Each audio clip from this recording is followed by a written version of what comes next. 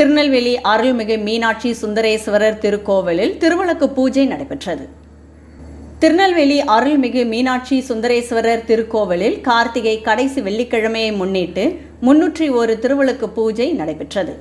இந்த முன்னூற்றி ஒரு திருவிளக்கு பூஜையில் பங்கேற்ற பெண்கள் குழந்தைகள் ஆகியோருக்கு பூஜைக்கு தேவையான அகல் விளக்கு திரி எண்ணெய் வெற்றிலைப்பாக்கு பழம் குங்குமம் மற்றும் புஷ்பம் வழங்கப்பட்டது. பக்தர்கள் தங்கள் வீட்டிலிருந்து கொண்டு வந்த விளக்குடன் கோவிலில் கொடுத்த விளக்கையும் சேர்த்து ஏற்றினர். லலிதா சகசிரநாம நாமாவளி லக்ஷ்மி அஷ்டோத்திரம் மற்றும் திருவிளக்கு நாமாவளி என்று குங்குமத்தாலும் பூக்களாலும் அர்ச்சனை செய்து விளக்கு பூஜை செய்தனர்.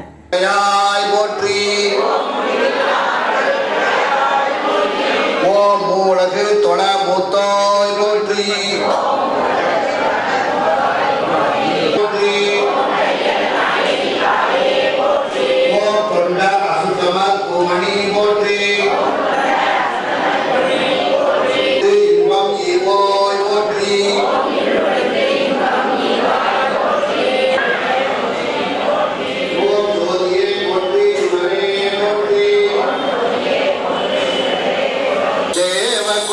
குஞ்சரி பாதானமோ நம அருள் தாரா குஞ்சரி பாதானமோ நம அருள் தாராய் எல்லாம் அந்த பண்டமாளிகை